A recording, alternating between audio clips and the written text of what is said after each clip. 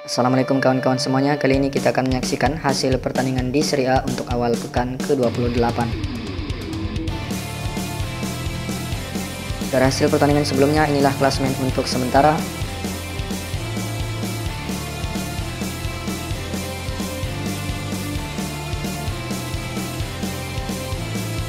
Lima pencetak gol teratas saat ini Ronaldo menjadi kandidat terkuat untuk top skor Serie A musim ini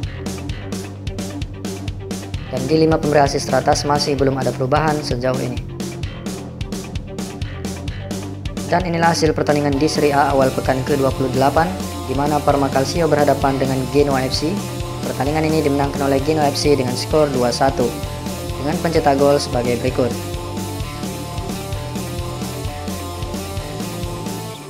Dengan kemenangan ini Genoa FC naik ke peringkat 13 untuk klasmen sementara.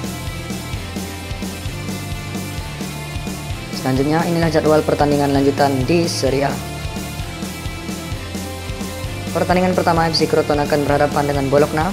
Pertandingan ini akan digelar pada 20 Maret 2021, tepatnya pada pukul 21.00 waktu Indonesia bagian Barat.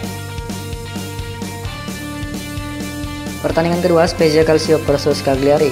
Pertandingan ini akan digelar pada 21 Maret 2021, tepatnya pada pukul 00 pagi waktu Indonesia bagian Barat. Inilah info hasil pertandingan di Serie A yang dapat admin sampaikan. Sekian dan terima kasih.